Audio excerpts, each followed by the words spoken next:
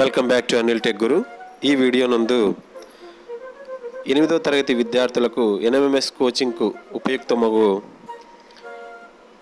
మన దుస్తులు పట్టు ఉన్ని మొదలైన అంశాల గురించి తెలుసుకుందాం. ప్రతి మనిషికి ఆహారం ఆవాసం దుస్తులు అవసరం. మరి ఈ సెషన్ నందు దుస్తుల రకాలు తయారీ విధానం మొదలైనటువంటి అంశాలను గురించి తెలుసుకుందాం. దుస్తులు దారాలతోనే తయారవుతాయి. ఈ దారాలను రెండు రకాలుగా పొందవచ్చు. అవి ఒకటి సహజ దారాలు కృత్రిమ దారాలు. సహజ దారాల్లో కొన్ని జంతువుల నుంచి మరికొన్ని మొక్కల నుంచి లభిస్తాయి. నూలు జనపనార గోంగూర కొబ్బరి మొదలైనటువంటి మొక్కల నుంచి లభిస్తే పట్టు ఉన్ని వంటివి జన్ జంతువుల నుంచి లభిస్తాయి. ప్రకృతిలో సహజంగా మొక్కలు జంతువుల నుంచి తయారయ్యేలా దారాలనే సహజ దారాలు అంటారు.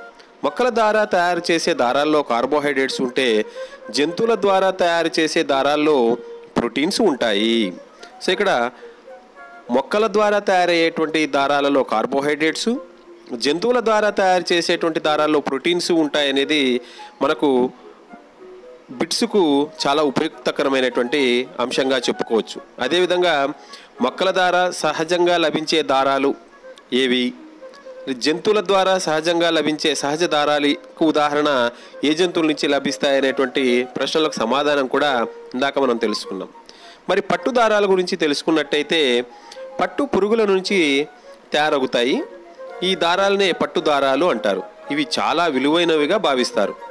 పట్టు పురుగుల నుంచి దారాన్ని తీయడానికి వాటిని పెంచి వాటి నుండి పట్టు దారాన్ని సేకరిస్తారు. దీని జీవిత చక్రంలో వివిధ దశలు కలవు. అవి గుడ్డు డింబకం ప్యూప చిలక ప్రౌఢజీవి. పట్టుగుడ్లు విత్తనాలనే పట్టుగుడ్ల విత్ గుడ్లను విత్తనాలు అంటారు. ఈ గుడ్లను అమ్మే ప్రదేశాలనే గ్రనేజెస్ అంటారు. పట్టు పురుగులు మల్బరీ మొక్క యొక్క ఆక ఆకులను ఆహారంగా తీసుకుంటుంది. దీని దారాల్లో రెండు రకాల ప్రోటీన్లు ఉంటాయి. అవి సిరిసిన్ మరియు ఫైబ్రోయిన్. పట్టు పురుగులనే కకూన్స్ అంటారు. కకూన్లోని డింబకాన్ని చంపడానికి దాన్ని వేడి నీటిలో ఉడకబెడతారు. దీన్నే స్టిఫింగ్ అంటారు. దాని నుండి దారాన్ని తీయడాన్ని రీలింగ్ అంటారు. సగటున ఒక పట్టుకాయ నుంచి వెయ్యి నుంచి మూడు వేల అడుగుల పొడవైన పట్టుదారం లభిస్తుందర్రా. పట్టు పురుగు వల్లే ఓక్ చెట్టు ఆకులను తిని దారాన్ని ఇచ్చేటువంటి వాటిని వా- పట్టు పురుగులను దేశవాళీ పట్టు లేదా టస్సర్ పట్టు అంటారు.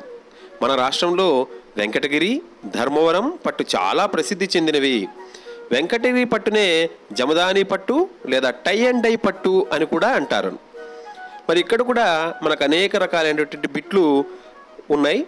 టై అండ్ డై పట్టు అని దేన్ని అంటారని వెంకటగిరి పట్టును ఏమంటారని ఓక్ చెట్టు నుంచి లభించే పట్టును ఏ పట్టు అని పిలుస్తారని టస్సర్ పట్టు యొక్క పురుగు ఏ మొక్క యొక్క ఆకులను ఆహారంగా స్వీకరిస్తుందని పట్టు పురుగు కా పట్టు కాయ నుంచి ఎన్ని అడుగుల పొడవైన దారాన్ని తీయవచ్చని మొదలైనటువంటి ప్రశ్నలు ఈ అంశం నుంచి వచ్చేటువంటి అవకాశం ఉంది కాబట్టి విద్యార్థులు ఈ అంశంపై పట్టు సాధించినట్టయితే చాలా చక్కగా మరియు మనం మార్కులను పొందడంలో ఇవి చాలా ఉపయుక్తకరంగా ఉంటాయన్నమాట. సో ఈ విధంగా పట్టు పురుగుల నుంచి లభించేటువంటి దారాలనే పట్టు దారాలు అంటారు.